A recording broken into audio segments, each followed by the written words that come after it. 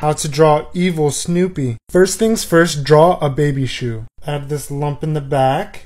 And Snoopy's body is pretty much a vase. Even adding his collar makes him look more like a vase. Add a little smirk for his mouth. Then we add his nose. I swear it's a nose. A little ring for his eye. Add a little chubby paw hand. And two bread loaves for feet. Connect it. Add a little paintbrush tail. Erase all the garbage. And then you throw some shade. Translation. This doesn't look very evil to me. Must need the detail. Whoopsie!